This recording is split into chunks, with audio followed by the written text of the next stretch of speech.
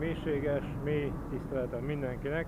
Ismét egy forgatás, ismét egy viszonylat. Budapest egyik legforgalmasabb, legtöbb vonal, vonalat indító csomópontjáról jelentkezem, az Őrsvezértéről. Ennek az oka a 82-es troli. Jó, hát ezt most úgy mondtam, mintha ő most valami szörnyű dolgot tenne ezáltal. Szóval a 82-es trollit fogjuk uh, gorcső alá venni. Uh, tulajdonképpen az ősvezérteret igazából két részre lehet bontani, mert a tömegközlekedést illeti. Az egyik rész az, ahol most tartózkodom, ez a zuglói oldal igazából. Hát itt is számos vonal indul, busz, troli, a trollik ugye innen indulnak, a zuglói oldalról, konkrétan a 80-as, 80A, 81-es és a 82-es.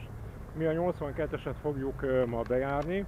Hát ezen a vonalon jár alacsony padlós jármű is, és hát ugye értelemszerűen nem alacsony padlós, nem babakocsi és nem kerekeszték kompatibilis kocsi is. Na most hát ugye látjátok, hogy itt mögöttem ez az uglói oldal, ezt az, ezt az imént, hát, hát ha nehéz bemutatni igazából, mert rengeteg bevásárlóközpont van itt, nagyüzlet, kisüzlet, büfé, kocsma, WC, innen indul a 8-as és a 9-es hév is egyaránt. Látjátok, hogy őrületesen nagy forgalmat bonyolít. Tehát ez gyakorlatilag egy ilyen bazársor, és megfigyelhető itt illetve igénybe vehető a szolgáltatás. Ö, illetve azért sétálgatunk egy kicsit, és azért úgy meg, megpróbálom megmutatni a kőbányai oldalát őrsvezértérnek, tehát ami a tömegközlekedést illeti, hogy honnan indulnak, hogy hon, hon, hol kell látni őket, vagy merre felé kell nézni, hogyha az ember kőbányai oldalról szeretne indulni. Ja, itt van a 8-as, 9-es hév, hát még ez is sűrűbben indul, mint a 6-os hév. Na most, hát egy kicsit gondolkodnom kell, mert iszonyú nagy forgalom van, tehát megint kifogtam a lehető legforgalmasabb időszakot. Délutáni csúcsidő péntek, annak ellenére nem iskola van, hihetetlenül sokan vannak, hát velem együtt természetesen. És hát ugye nem utolsó szempont, hogy a kettes metró is az Örös az életéről indul, tehát tényleg azért mondom, hogy rengeteg-rengeteg vonal indul innen. Mind busz, hév, villamos, trollibusz, ingyenes ilyen bevásárlóközpont járat, olyan bevásárlóközpont járat, stb. stb. Hihetetlenül forgalmas környék ez tehát. Na most, hát most nézzétek el de nem fogok a lépcsőn lemászkálni. Szóval csak megmutatom, hogy a kis újacskámmal, hogy igazából ott, ahol most amerre elkanyarodik az a kék busz, nevezetesen a 276E, arra felé látható a kőbányai oldala igazából az ősvezértérnek, ami a tömegközlekedés illeti. Ott is van egy kis pályaudvar, de onnan csak buszok indulnak. Tehát ennyi a, a különbség igazából a kettő között. És hát ott van a kettes metró, pont nappal szemben lehet, hogy nem fogtok semmit látni belőle, úgyhogy ezer bocs. De hát ez a, ez a nyomorú téli időszámítás miatt egyszerűen annyira hamar sötétedik, hogy, hogy szó szerint sietnem kell az igazság. Reggel meg még baromira fáztam, meg baromira hideg volt, úgyhogy nem igazán volt kedvem neki indulni.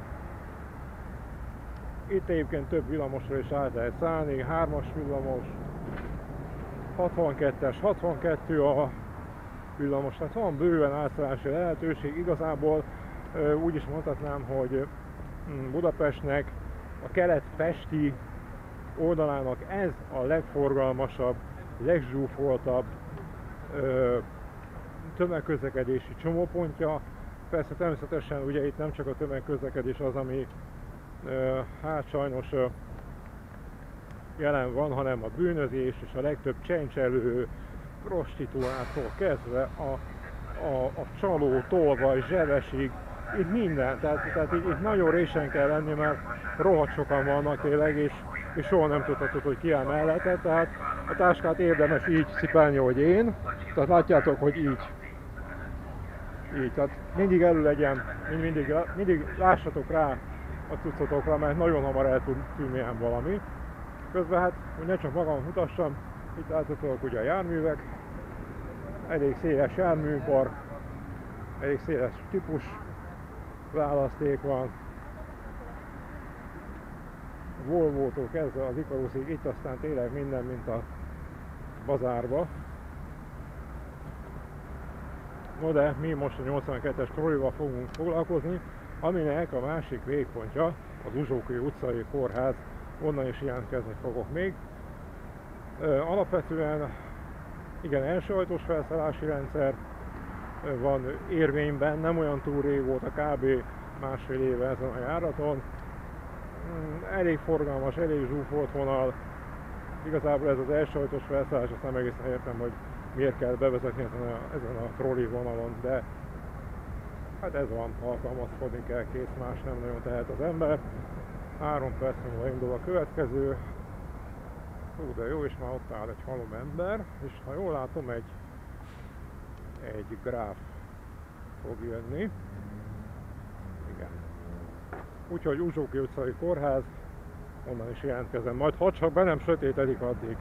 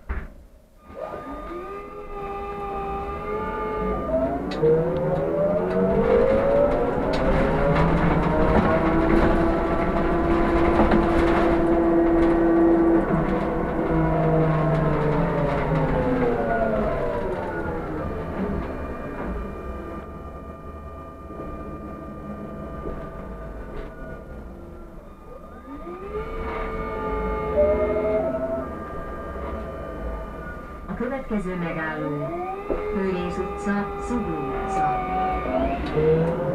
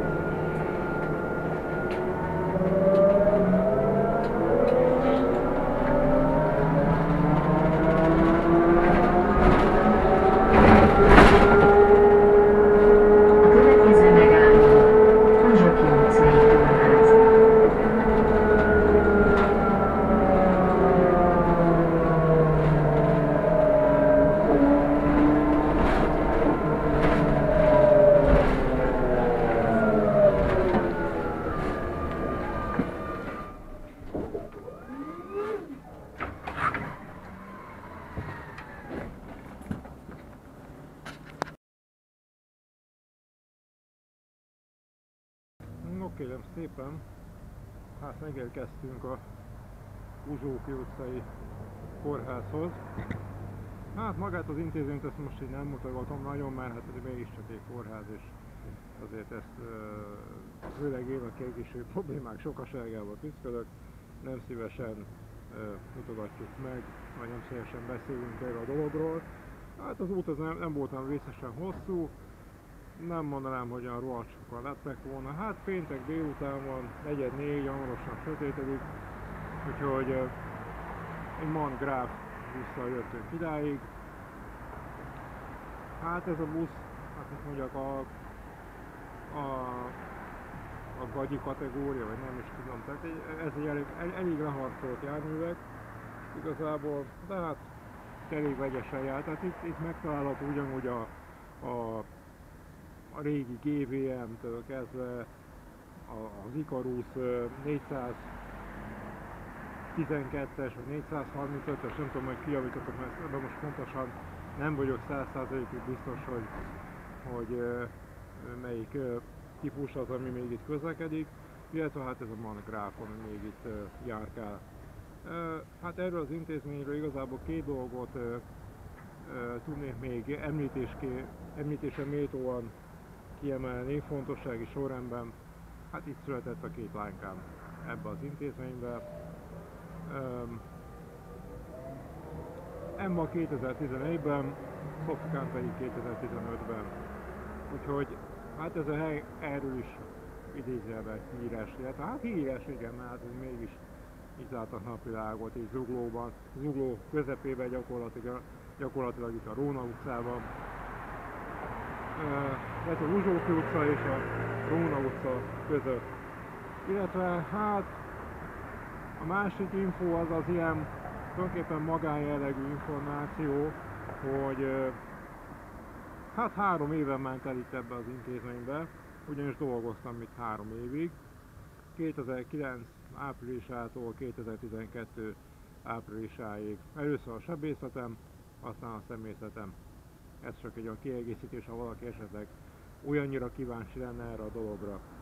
Hát akkor ennyi lett volna tehát a 82-es Troy. Szóval látjátok, hogy Budapesten is már az ember jön, megy, és gyakorlatilag alig tudok olyan helyet mutatni, ahol valamiféle emlék ne bukkanna fel. Hát igen, ez egy ilyen, ilyen az élet. No, hát akkor jöjjön egy kis uzsi-muzsi, tea, ezt még otthonról hoztuk, hoztam. Pep. Igen, szóval többes szám, szóval nem többen forgatunk, meg nincsen csapatom, meg ilyesmi, én egyedül járkálok, és hoztunk kiskót a tekercset, ezt is magunkével fogjuk tenni. Túl sok fényképet itt erről a környékről nem fogok készíteni, mint mondtam, ez kórház, tehát ezen úgy nagyon nincs mit fényképezni. Itt a vonal volt a lényeg igazából. Hát mondjuk a sofőr az beletaposott elég rendesen, azért volt egy-két olyan bukkanó, ahol szó szerint így huppantam egyet, ahogy Emma szokta mondani. Visszafele még pontosan nem tudom, de valószínűleg nem megyek ki végig az ősre.